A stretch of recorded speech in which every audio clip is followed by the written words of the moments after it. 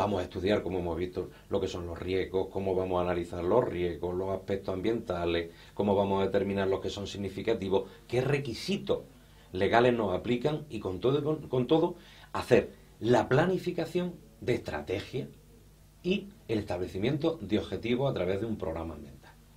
Aquí vamos a ver qué necesitamos de apoyo para poder hacer todo esto. Evidentemente necesitamos eh, eh, una parte mm, que no se ve o se ve poco en lo que es el apoyo a esa gestión eh, ambiental que, vamos a desarrollar en la organización, pero que es fundamental. Sin ello no podríamos hacer absolutamente nada, lo que son los recursos, el soporte y el apoyo. Necesitamos formación. Vamos a tratar de la formación. Vamos a tratar de las competencias. Vamos a tratar de la sensibilización de todas las personas que forman la organización. Eh, como formación se establecen planes de formación anuales, pueden ser anuales. La norma no nos dice, tiene que ser de una forma eh, planificada en el tiempo. Lo normal es que sea por periodo y ejercicio económico, o sea, anuales.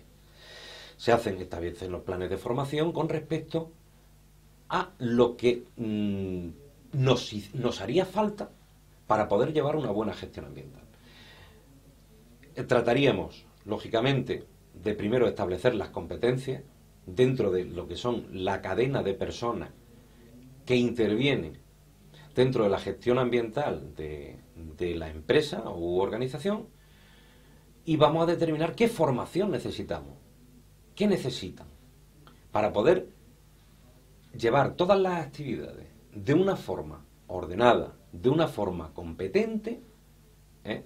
y que no nos falle, ¿eh? como decíamos al principio, eso de la prevención de los problemas, anteponernos a que tengamos problemas en un futuro. Entonces determinaremos para cada persona que interviene en el sistema qué competencias tiene, ¿Qué educación? Es decir, pues mira, pues por ejemplo, para un, responsable del equipo de implantación de un sistema de gestión ambiental, pues necesitará, pues, por ejemplo, pues ser eh, titulado universitario en un área técnica, una ingeniería, una arquitectura, necesitará formación en gestión ambiental, necesitará formación en auditoría interna del sistema de gestión, necesitará tener alguna experiencia, entonces nosotros vamos marcando esas competencias. Y donde veamos que hacen falta o hay una deficiencia en lo que es la competencia y necesita formación, tendremos que establecer un plan de formación.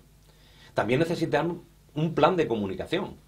Es decir, tiene que haber dentro de la organización unas líneas a seguir, bien sea verticales u horizontales, de comunicación para que nada falle. Lo veremos. Un tema también súper apasionante, el tema de la comunicación. Lo vais a entender fenomenalmente eh, tal y como se ha desarrollado en este tema 3. Y otro aspecto muy importante y que sin él no se soportaría un sistema de gestión ambiental es la documentación. Vamos a aprender a desarrollar la documentación, los procedimientos, las instrucciones de trabajo, otros documentos que sean importantes a la hora de que no falle ese sistema de gestión ambiental lógicamente esto tendrá que estar controlado, esto tendrá que estar revisado y esto tendrá que estar pasado eh, por un tamiz de una serie de, de, de, filtros. Esa documentación tendrá que ser realizada, elaborada, visada y si puede ser incluso aprobada, como veremos, por la alta dirección. No siempre ocurrirá, ya lo veremos. Pasamos a lo que es operación, el punto 8. Esto es el intríngulis. Aquí lo vamos a pasar fenomenal porque vamos a tratar todos los temas que me figuro que habréis estudiado en módulos anteriores a este máster de lo que es la gestión ambiental, los vamos a traspasar a lo que es el sistema de gestión ambiental para que no se nos escape nada. Vamos a tener gestión de las emisiones atmosféricas. Vamos a hacer mención a las leyes principales y reglamentos que nos afectan, como puede ser la 37, perdón, la 34 de 2007, que es la ley nacional sobre las actividades o sectores de esas empresas potencialmente contaminantes, los niveles de emisión, los niveles de emisión atmosférica, dónde nos podemos pasar, dónde no nos podemos pasar. Aquí en el punto 8 es donde vamos a tratar todo esto bajo dos puntos de vista. Por un lado, las mediciones que tenemos que hacer y dónde estamos con respecto a lo que nos aplica la ley.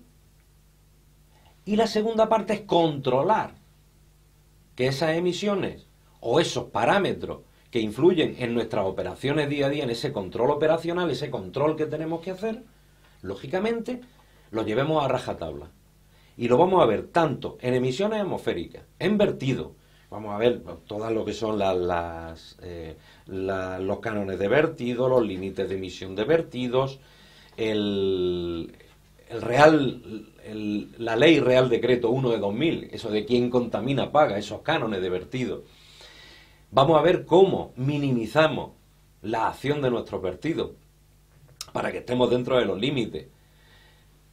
Residuo, fundamental. Esto sí que es la pata de... porque dice, bueno, hay empresas que, bueno, pues pueden tener emisiones atmosféricas, pueden tener eh, vertidos, residuos, tal, o las tres cosas, pero residuos el 99,99% de las empresas que tienen una actividad en este mundo generan residuos. Serán inertes, serán peligrosos, no peligrosos, ya lo veremos. Vamos a tratar las principales leyes y reglamentos que nos afectan a nivel nacional. Cuáles son las obligaciones de los productores de residuos, qué es lo que tenemos que hacer, cómo se etiquetan. Me figuro que ya te digo, os comento que mm, podremos haberlo visto en otros módulos de este, de este máster. Pero aquí lo vamos a centrar y lo vamos a focalizar para hacer la gestión ambiental, ¿vale? Y ese sistema de gestión ambiental y que no se nos escape nada. El tema de ruidos también. Y luego nos vamos al punto 9. El punto 9 trata de lo que es el seguimiento, la medición, la evaluación de los datos y la implantación de indicadores ambientales. Es decir, tú puedes vamos, vamos a ver, ¿cómo podemos seguir, por ejemplo, el consumo de energía, que es un aspecto muy importante dentro de una empresa? Dice, hombre, pues por la factura. Dice, sí, pero ¿cómo sé si estoy bien o estoy mal o estoy a nivel de lo que estoy consumiendo o no estoy consumiendo? Pues se marcan indicadores, como puede ser pues, consumo de kilovatio hora, por ejemplo, pues por trabajador o por unidad de fabricación. Porque claro, dice, este año yo he consumido 1000 kilovatios hora y el año que viene consumo 900. ¿Cómo sé? que es, ah, ¿hay bajado? Ah, sí, pero ¿y si mi producción ha bajado? Entonces tendremos que marcar indicadores para saber cómo estamos yendo y para saber si estamos consiguiendo estar a niveles de nuestros objetivos que tenemos que atacar y esos planes que comentamos antes, que están en el punto 6 de planificación, que hemos puesto que tenemos que atacar, como puede ser el consumo de energía, como puede ser la generación de residuos, el nivel de emisiones, cómo vamos controlando todo a través de indicadores fundamental el establecer indicadores medioambientales. Como veis, la, la norma ISO, de ISO 14001 es muy, muy fiscalizante a lo largo de todo el sistema PDCA que hemos visto antes, en la planificación, la ejecución, comprobación y actuación. ¿Vale? Y eh, tenemos el tema auditoría interna, que lógicamente pues, fiscaliza un poco o nos dice en, qué momento eh, nos surgen eh, desviaciones con respecto a lo que hemos planificado, pero eso lo veremos en el tema 4. Y luego el último punto, que es muy importante también, y no lo contemplaba la versión anterior, la de 2004, y esta sí de 2015, que es la mejora continua. Para lo cual tenemos que aplicar unas acciones correctivas, un plan de acción correctiva a esas desviaciones que nos han salido y vamos a tratar en este punto 3 un tema muy importante. Os voy a ayudar a crear ciclos de mejora. ¿Cómo se puede enfocar la mejora? ¿Qué tenemos que planificar para que nuestro sistema vaya mejorando continuamente año tras año y vaya madurando? ¿Vale? Tema apasionante. Este, este, este tema, punto 10 de la norma, que es mejora continua. El tema 4 eh, va a tratar eh, prácticamente o íntegramente del tema de auditorías auditorías del sistema de gestión ambiental. Es decir, hasta ahora hemos ido desarrollando una serie de pasos, hemos ido implementando una serie de actividades dentro de nuestro comportamiento eh, habitual, rutinario dentro de nuestra empresa y organización con respecto al tema de medio ambiente y vamos a ver el tema de auditorías que es el tema principal para saber, por un lado, si estamos eh, comportándonos ambientalmente de una forma correcta y estamos cumpliendo. Y por otro lado, vamos a tratar del tema de la auditoría de certificación de nuestro sistema de gestión. Entonces, como hemos visto, hay dos tipos. Una puede ser la auditoría interna y otra es la auditoría externa. La auditoría interna, que nos lo eh, comenta y nos lo, nos lo obliga el punto 9.2 de ISO 14001-2015, que auditoría interna. Tenemos que auditar de una forma, eh, eh, como vamos a ver a lo largo del desarrollo del tema, con una serie de parámetros que son fundamentales. ¿Vale? Ya tenemos establecido pues que mm, dentro de, lo que es eh, nuestro sistema de gestión ambiental tenemos que, que, dar fe de que no hay desviaciones o que esas desviaciones existen y tenemos que poner un plan de acción correctiva para que no, no nos vuelva a ocurrir. Y eh, lo importante es que centremos el, el tema de auditoría bajo eh, una serie de, de, digamos, patas que, que, apoyen bien. Es decir, por un lado vamos a tratar y vamos a ver qué es lo que se necesita o qué tiene que tener un auditor, tanto en, lógicamente, en su propia personalidad, qué perfil tiene que tener. Vamos a ver qué se necesita en lo que es su educación o su competencia Vamos a ver también qué se necesita en su experiencia. Yo como auditor os digo una cosa y siempre lo he comentado. A auditar se aprende auditando. Y es muy importante el que desde el principio, aunque sea de forma observadora, estar con auditores que nos enseñen, que nos guíen por la perfecta, no la perfecta, o la, la más correcta forma de actuar en una auditoría. Por otro lado, vamos, eh, nos dice el, el, punto 9.2 de ISO 14001 que tenemos que establecer unos programas. Vamos a ver cómo se establecen esos programas a lo largo de este, de este, de este tema. Es decir, vamos a tener que asignar unos recursos, se van a tener que asignar unas responsabilidades, se van a tener que elaborar unos procedimientos que nos van a decir qué es lo que vamos a tener que hacer, se va a establecer un cronograma, se van a tener que hacer eh, un sistema inclusive, por lo menos puntualizarlo, de mejorar ese programa, de ir más allá. ¿eh? Sobre todo al principio tendremos una serie de, de, desviaciones, de distorsiones, un poco al, al, ejecutar el programa, y vamos a poner también lo que he comentado, un tema de mejora de ese programa. Una vez tengamos lo que son los programas de auditoría, lógicamente tendremos que llevarla a cabo. En este tema 4 vamos a ver que partiendo de ese programa, cómo se ejecutan, cuáles son las fases que posee la ejecución de una auditoría. Por una parte está la fase de iniciación, que son la creación de equipos de auditores, eh, el nombramiento de un, auditor líder. Eh, hay una fase documental, o una fase, por decirlo así, en la que se va a estudiar toda la documentación que se ha creado en la empresa para saber dónde estamos.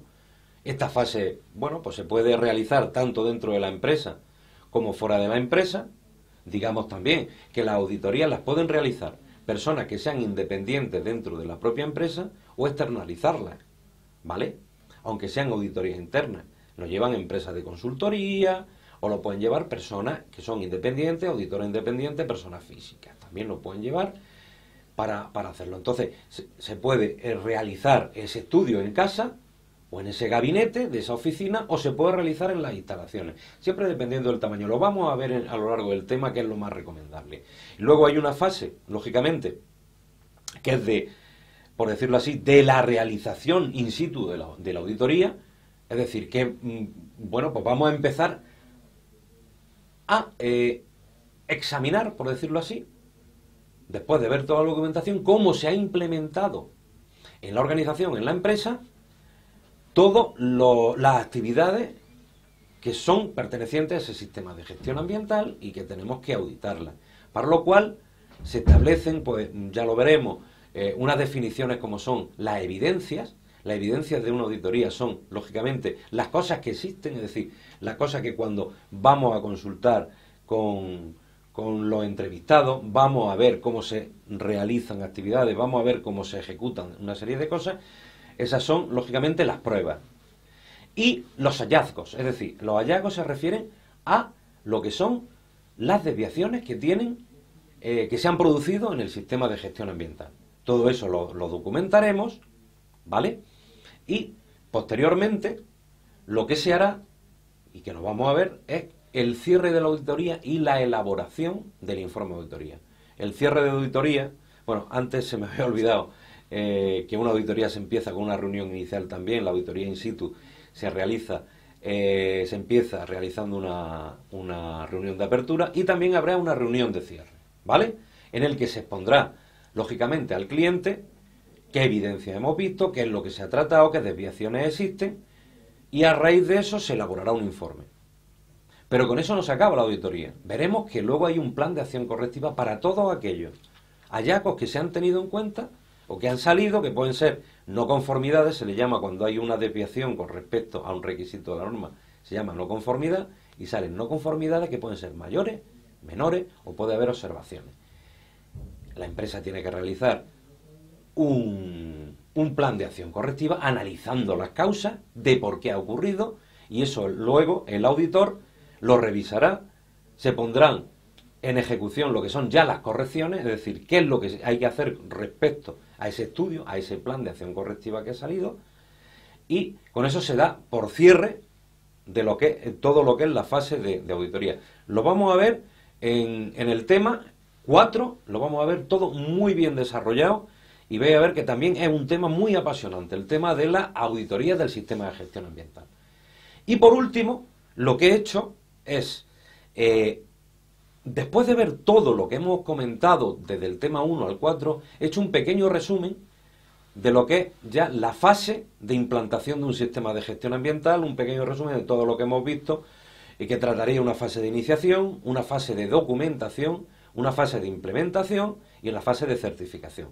En la iniciación, pues, bueno, pues la formación hablamos de una formación de un equipo, que, bueno, si es una organización pequeña, a lo mejor el gestor ambiental de esa empresa será la persona responsable del sistema de gestión.